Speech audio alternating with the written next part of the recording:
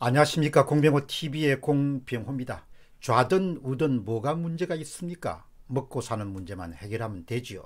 바로 눈앞에 앉아있는 나이가 꽤 드신 비례대표 출신의 한 야당 국회의원이 자신있게 이야기하는 소리를 저는 조용히 귀담아 듣고 있었습니다. 가만히 앉아 있다가 제가 한마디를 조용조용히 했습니다. 아니 의원님 무슨 그런 말씀을 하십니까? 좌파 정책을 사용해서 먹고 사는 문제가 제대로 해결이 될 수 있습니까? 그것은 해결이 될 수가 없습니다. 그것은 옳고 그름의 문제입니다. 좌파 정책을 계속해서 사용하면 나라가 가난해지는 겁니다. 상견례에 대해서 든 생각은 야당의 국회의원 전부가 그럴 일은 없을 겁니다. 그러나 아름아름으로 들어온 비례대표 위원들 가운데서는 이렇게 소신 없는 사람들이 정말 많겠구나 그런 생각을 했습니다. 이러니 어떻게 전투에 아주 능한 그런 여당의 거친 공세에 야당이 맞서 싸울 수 있겠는가 자신이 무엇을 지켜야 할 것을 모르는 사람들이 어떻게 열심히 치열하게 싸울 수 있겠는가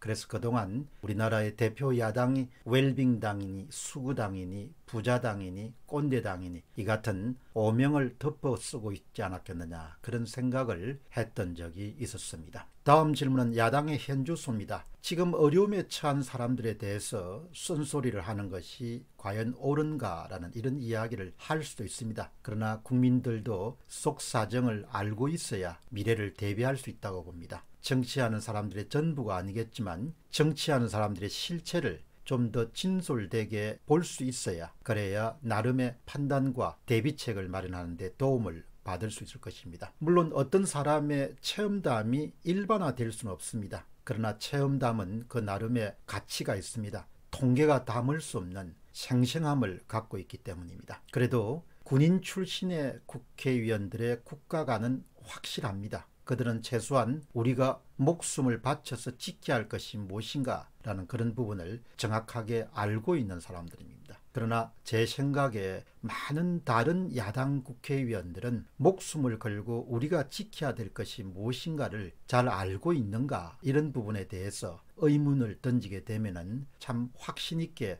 답하기가 쉽지가 않습니다. 제가 접한 국회의원들 가운데 제법 많은 수는 국가의 이익은 별로 크게 비중을 두지 않았습니다. 그냥 내 이익에만 관심이 많았습니다. 또한 특히 어떤 데 관심이 많은가 하니까 어떻게 하면 내 사람, 내 편을 심을 수 있을 것인가 어떻게 하면 우리 편 사람을 심을지에 온 정신이 가 있는 사람들이었다. 그런 판단을 하게 됩니다. 그러니까 나라의 큰 이익이나 이런 것보다도 내 사람을 어떻게 하면 좀 더 좋은 자리에 심을 것인가 이런 부분에 온통 그냥 신경이 가 있지 않겠느냐 그런 생각을 어, 하게 됐습니다. 내 사람을 어떻게 하면 좀 좋은 자리에 심을까 이것이 온통 머리를 차지하게 되면은 그런 생각들 때문에 판단이나 행동이 달라질 수밖에 없죠. 그리고 또 내 사람을 심기 위해서 끊임없이 뒤에서 사람을 흔들고 공격하고 정보를 유출하고 또 때로는 경쟁자나 아니면은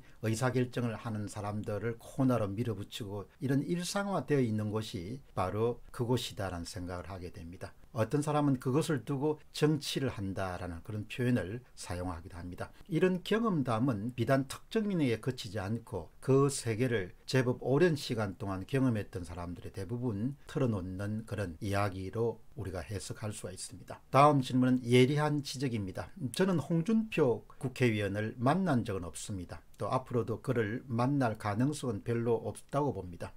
그거를 두고 이런저런 비평이 있는 것도 사실입니다. 어떤 사람은 아주 신랄하게 홍 의원을 어, 비판하는 사람도 있고 또 어떤 사람은 그를 두둔하는 사람도 있습니다. 그러나 그런 이제 호불호라는 문제를 다 제쳐두고 제가 주목하는 것은 가끔 언론 지상에 통해서 자신의 페이스북을 통하거나 아니면 자신의 발언을 통해서 홍준표 위원이 올리는 그런 복잡한 문제의 핵심을 정확하게 관역하는 이런 힘을 갖고 있다. 그렇게 보면 이렇게 복잡한 문제의 핵심을 정확하게 파악하는 그런 능력을 갖고 있다 이렇게 봅니다. 4월 16일 날 연합뉴스 인터뷰에서 행한 홍준표 당선자의 두 문장은 야당 패배 원인 가운데서도 아주 굵직한 부분을 정확하게 그리고 예리하게 지적하고 있다고 봅니다.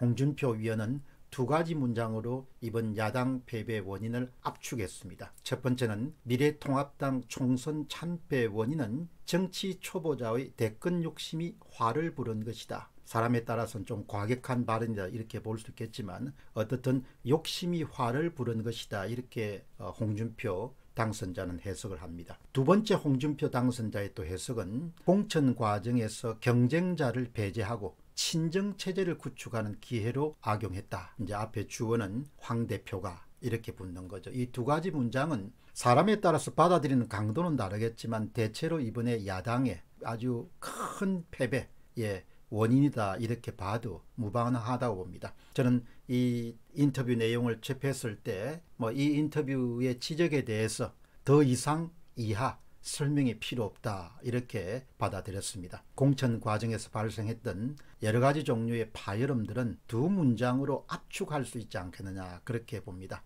내 사람을 심어야겠다는 생각 또 이를 부추기들은 측근들이 정말 좋은 결정적 기회를 잃게 만들었고 또 그 결과로 총선에서 패배함으로써 이 땅에 양식 있는 많은 사람들의 삶을 어렵게 만들었다 그렇게 봅니다. 향후 야당의 방향에 대해서도 홍준표 당선자는 의미 있는 이야기를 했습니다. 총선에서 압승한 여당의 독주를 앞으로 어떻게 견제할 수 있겠느냐 이런 기자의 질문에 대해서 홍준표 당선자는 투쟁성이 강한 100여 명의 의원이면 문재인 정권의 독주를 막아낼 수 있다. 투쟁성이 강한 100여 명의 의원이면 문재인 정권의 독주를 막아낼 수 있다. 우리에게 희망사고는 굉장히 중요합니다. 사람은 희망을 먹고 살기 때문에. 그러나 이 문장을 홍준표 당선자의 문장을 제가 받아들이는 순간 저는 바로 어떤 이야기가 나오는 거 하니까 그런 투쟁성이 있는 인물이 지금 야당에 얼마나 있는가 야당에 있는가 그런 물음이 바로 튀어나왔습니다. 잘 싸운다는 것은 그냥 싸움